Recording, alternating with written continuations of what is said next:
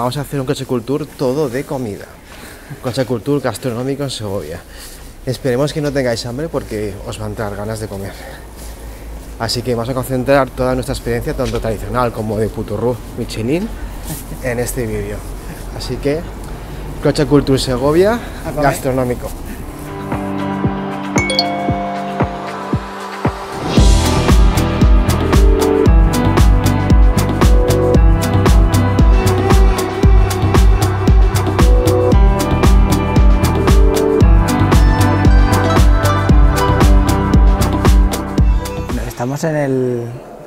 En, un restaurante total que era un convento de la Orden de los Mínimos. Y la Orden de los Mínimos fue fundada por San Francisco de Paula en el siglo XV y el nombre hace referencia a la humildad de estos religiosos.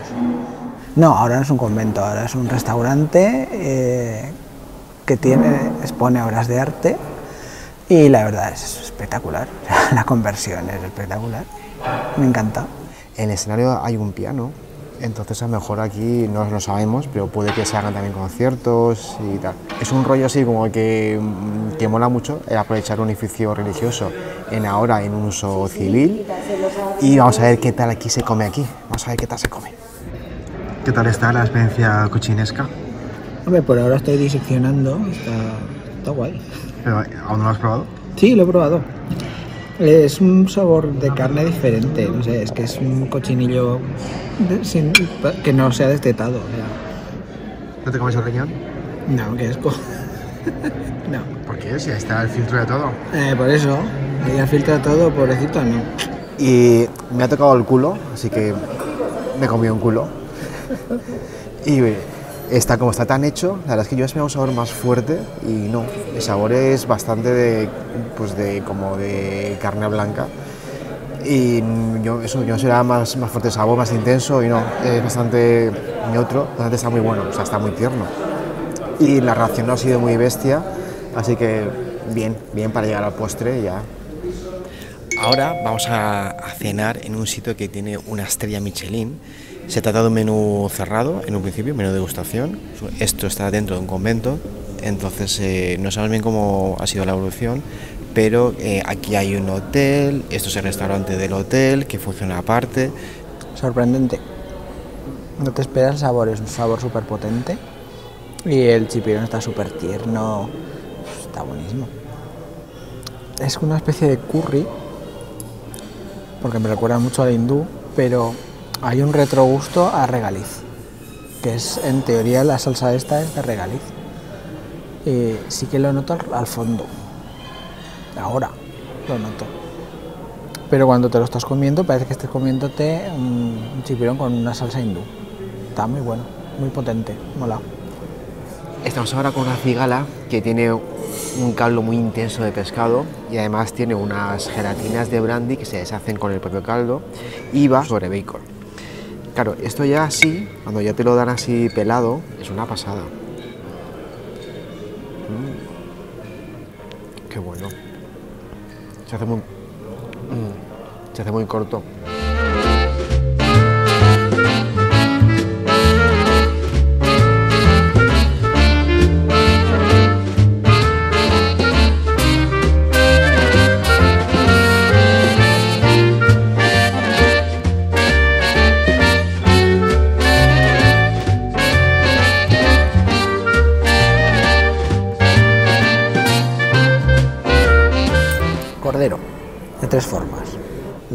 De cordero a la brasa, de toda la vida, buenísimo.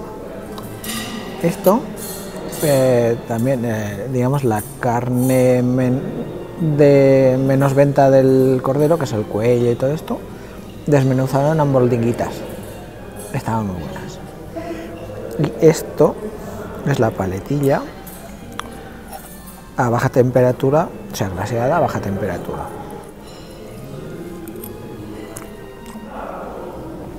Está bueno, pero me quedo con las de brasa. Pero yo tengo que decir que, claro, que yo como tengo copas infinitas, esto ya que no puedo más. Claro, yo, esto, esto que veo son dos sorbos y te rellenan infinitamente.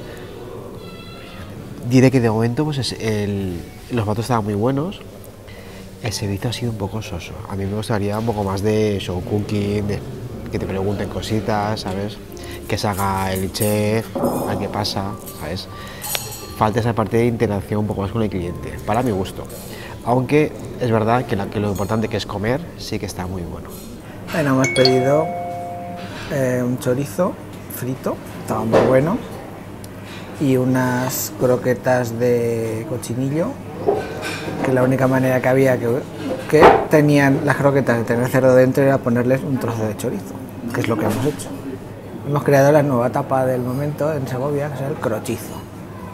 Sí, era una masa de fécula de batata o maicena o harina, lo que fuese. El cerdo no estaba. Se fue de puente.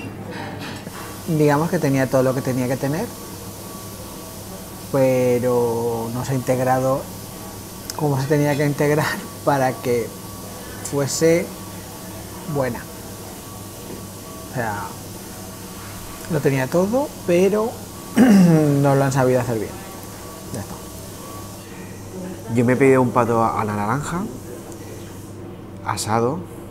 El sabor del pato estaba bien y la salsa sí que me ha gustado el sabor que tenía, pero he visto el conveniente que venía inundado de esa salsa, venía pues, como en una balsa y después el pato tenía poco, poca carne. Era, tenía mucho volumen, pero he sacado de carne nada, un, bocadito y después todo lo más era hueso y claro, pues es como que me ha sabido poco.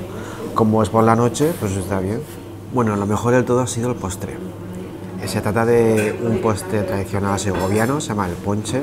Es con bizcocho que lleva también mazapán, crema pastelera y encima lleva azúcar glass. Este no es la receta digamos, autóctona que es muy mazacote, sino que se sirve menos porción, se pone más crema pastelera y unas bolas de nata que queda muy bien con su canela. La prueba está que no quedó nada en el plato. Nos estamos alojando en un hotel que es un palacio, es un edificio histórico. Este, esta casa sobre la que se construyó el, el hotel es un palacio construido por un señor que se llamaba Carlos Falconi, que era hijo natural, oh, me encanta ese eufemismo, del rey Carlos VII de, de Francia. Es decir, que no era príncipe, sino que es un hijo que tuvo por ahí que Carlos VII, como tantos que tuvo, ¿no? Y tanto Eso. tuvo tanto. Era un bastardo. Ahí, un hijo natural. Él tiene la culpa, es verdad. Pues sí. El hotel está muy completo, tiene de todo, aunque algunas cosas no están abiertas, pero bueno, está, está bastante bien. Es complicado encontrar alojamiento barato en el casco histórico de Segovia porque es todo bastante caro. Eh, los precios el fin de semana se disparan, hay mucha diferencia y al final optamos por, por este hotel, que no es que sea barato, pero nos dimos un capricho para estar cómodos. Pues sí. La habitación es eh, bastante cómoda, es decir, la, la cama es enorme, se duerme muy bien. La habitación también es muy grande, muy espaciosa. El desayuno está bien, es un buffet que está bastante completo. Y después, eh, cuanto a la atención del personal, está muy bien. Sí. Son un encanto, las chicas de recepción, las dos. Me encantó.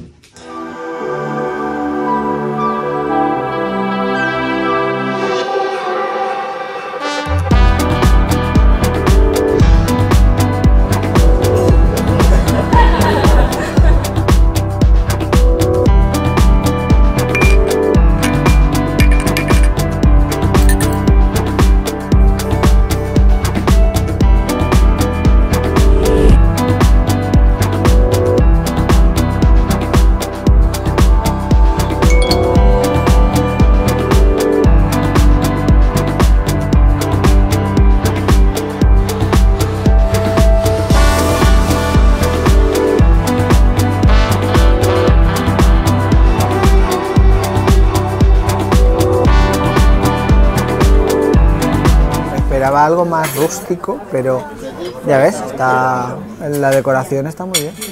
Era como una especie de huevos fritos con patata y jamón, pero de otra forma. Lo han hecho un cremoso de patata, que estaba muy bueno, jamón partidito a tiras y un par de huevos que nos han roto allí, aquí en directo. Y todo junto estaba buenísimo. Bueno, pues aquí tienen ustedes, señores. Genial. Que aproveche, por favor. Muchas gracias. Muchas gracias.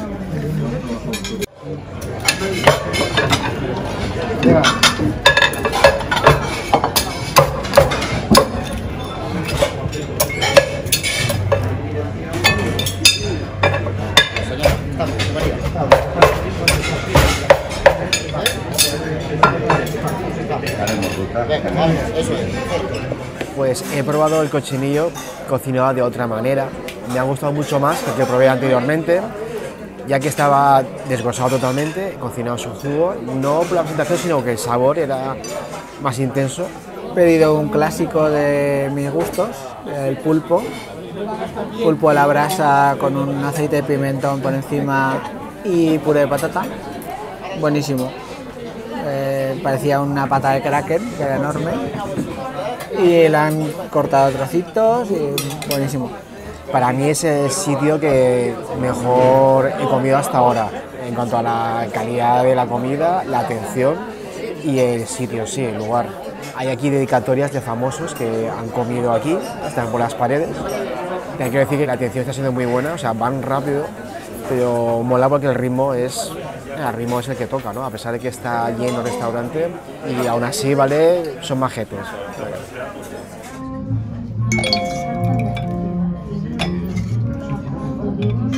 Cuando tú me digas, paro, ¿eh? Vale, vale. Por mí vale. Voy a, voy a poner... Son muy parecidas. Es como la sopa de ajo que hacía mi abuela, igual. Así que está buena. Y además, sobre todo ahora para por la noche, es ligerita, está bien, está guay. A mí me ha sorprendido el contraste del helado de queso con la remolacha, que bueno, para abrir boca estaba muy, muy bueno. Sí, sí.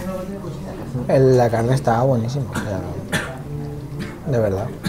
Muy buena. Y las patatas, blanditas por dentro, crujientes por fuera. Buenísimo.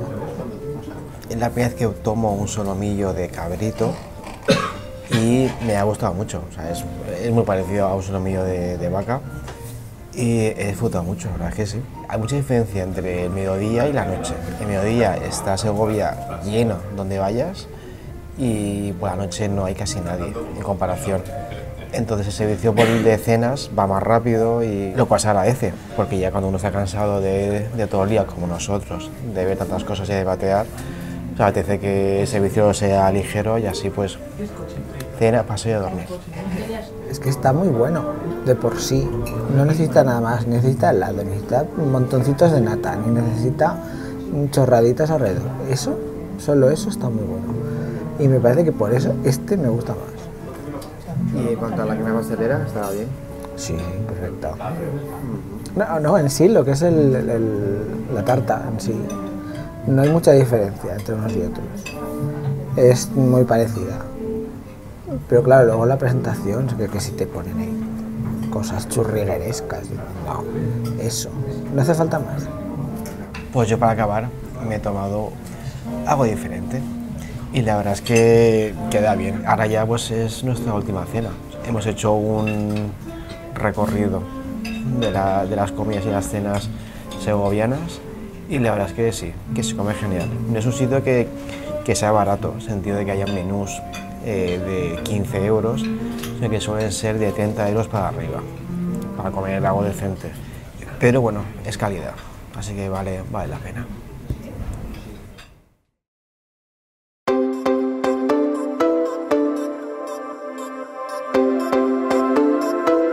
Sin duda Segovia nos ha dejado con ganas de más. Esperamos que a vosotros también. Nos vemos en el próximo Cocha Cultura.